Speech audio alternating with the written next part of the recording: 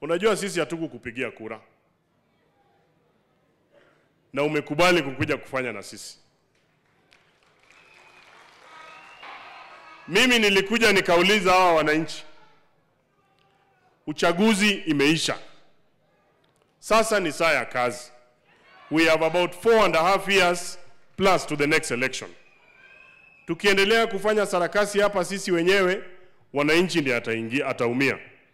Mimi nimechaguliwa, mimi niko na mshahara. Hata sasa hii naangalia tu tarehe, I think next week kakitu kataingia. Because they have already voted for me, I am doing my work. Ile kazi ambayo waliniambia nifanye ni kuwaletea maendeleo. Mimi nataka kuwauliza hawa wananchi, tufanye maendeleo ama tuende kwa sarakasi? Tufanye maendeleo ama tuende hapa maandamano kwa barabara?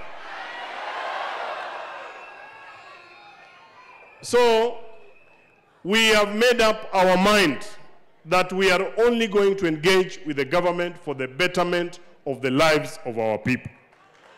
Mimi najua watatutisha, watasema mambo mingi, but as long as we are doing and our conscience is clear that we are doing something right for our people,